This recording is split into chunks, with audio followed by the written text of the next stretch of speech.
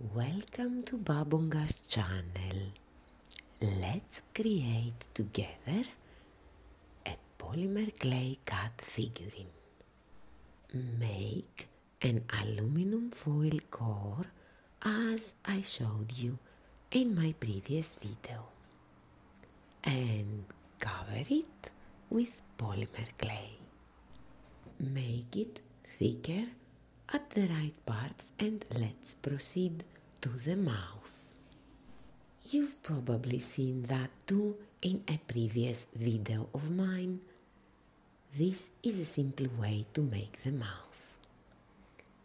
Maybe add a little more at the forehead and merge it and then trace the eyes.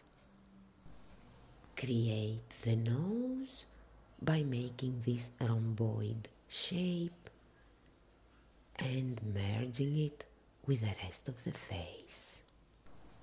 The nose takes a little more time to give it the right shape and size.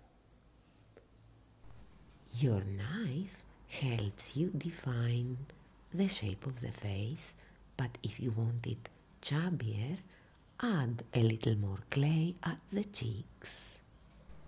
In fact, you can add clay whenever you want, even after baking.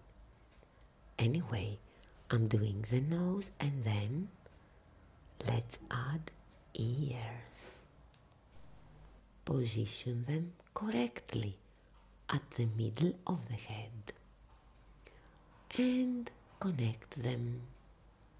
Now let's move on to the body and add some volume to create the back legs. After this, we need to texture to imitate the cat's fur.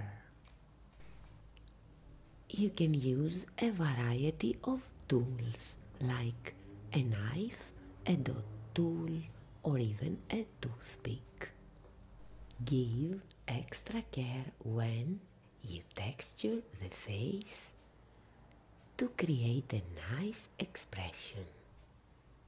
Leave nothing untextured and proceed if you want to add a little tail. Last thing before you bake is to add the toes with the back side of your knife. Okay, now take it to the oven for 30 minutes and after it's cold, prepare the bottom side with liquid polymer clay. Here I'm using a thin sheet of light gold polymer clay to cover. Make a hole which is necessary for the oven.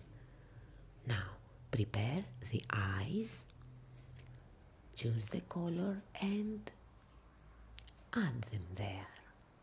Flatten them a little bit and as for the pupils, these will be added with paint.